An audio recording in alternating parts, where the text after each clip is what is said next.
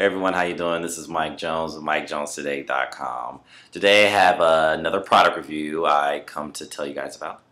Uh, it's Alaffia. It's their black soap. Um, I've been a fan of African black soap for many, many years. It really helped me when I had like an acne breakout. It really kind of just soothed it and took all the irritation away that you know was in my face. So I'm a really big advocate on it. And but the thing that I uh, didn't like about the African black soap, it, it was a bar soap and it's such a pure, gentle soap that as soon as like water hit it, it would just kind of disintegrate. So I didn't have it for so long. So I was really happy to see that they have this kind of, you know, bottled form now.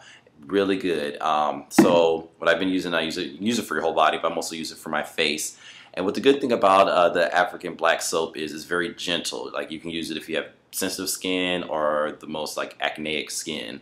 So it's really good for all skin types. And what's really good about it is like a gentle exfoliator. So just putting it on the face, it automatically exfoliates the skin. It kind of eats away all like the dead tissue and cells off the face. So your skin's gonna look like a nice, lot clearer and brighter just from using it.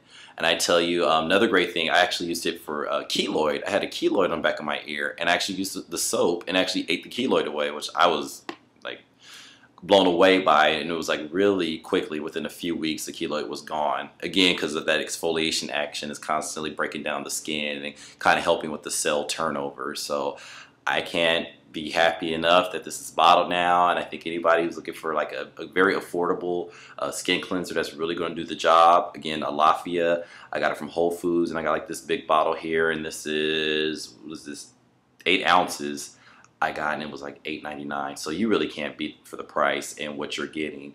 Again Alaffia African black soap highly recommended. It it's two thumbs up from Mike Jones so definitely if you can go out and get it. Again it's another product review of the Alaffia black soap from MikeJonesToday.com and anytime you have any questions or if there's a certain product you want me to review please feel free to contact me um, at Mike Jones at MikeJonesToday.com Again, thank you for your time and have a healthy day.